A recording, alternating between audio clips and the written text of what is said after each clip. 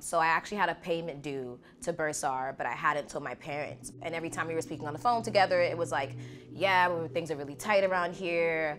Um, you know, keep, like, can you please like find a job? Because you know we're not sure if we're gonna be able to send you money. So I was working while I was a freshman, and I was just like, you know, man, I can't. I didn't tell them about this $900 bill coming up, and it's like due in a week.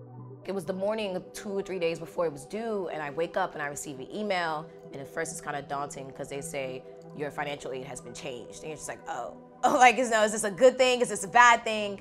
And it turned out to be a great thing because it was the scholarship and it was large enough that I didn't have to pay the Bursar bill anymore. Um, and I actually received a bit in a refund, which supported me in purchasing books for that semester.